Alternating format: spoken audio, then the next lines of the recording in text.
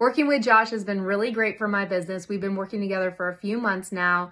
I adore working with him. He's good about communication, checking in on me, asking for the things he needs that will help us connect with more leads. He's done a really good job of matching my voice.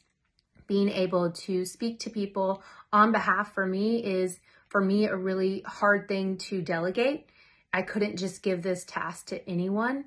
And Josh has just been a tremendous help and very professional. And he's really good at what he does. He's really good at sales and engaging people and building connection and trust very quickly because I think he's coming from a very authentic place where he wants to, he truly does want to help and support small businesses and coaches who are trying to just get more leads, get more clients. So he's been able to book me several different calls now and even land me a new client.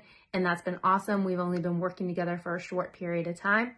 Josh is also really good at updating my LinkedIn and making it seem more professional. He wrote some of the best copy in my about area. So he's really good with copy. He's really good with business advice and helping me make videos and those types of things so that I can sell my product better.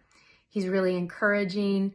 Like I said, he's good at keeping um, keeping me on track, those types of things.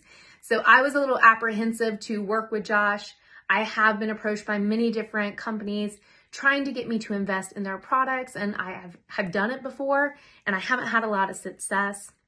I've had um, these big promises being given to me and, and really not a lot after that. So it's, you know, buy my program, buy this, I'm going to help you get all these sales and all these, and then nothing would happen. And I would try to implement what they wanted me to do. What I like about Josh is that he has skin in the game. What I mean by that is that he's invested because it's more like he's a part of my team than he is just somebody telling me how I should run my business, how I should niche my audience, how I should do this and that. He doesn't, he's not a coach of a coach. He's actually different. He's going to get in there and he he produces results. He gets in there and he tries to get you clients on your schedule. It's a much different process and like I said, he has skin in the game, which to me is a huge thing.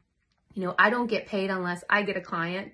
And I think he understands that, that it's hard for a small business to go ahead and shell out all this money and not have any real promise or proof that this is going to work. So working with Josh has been wonderful.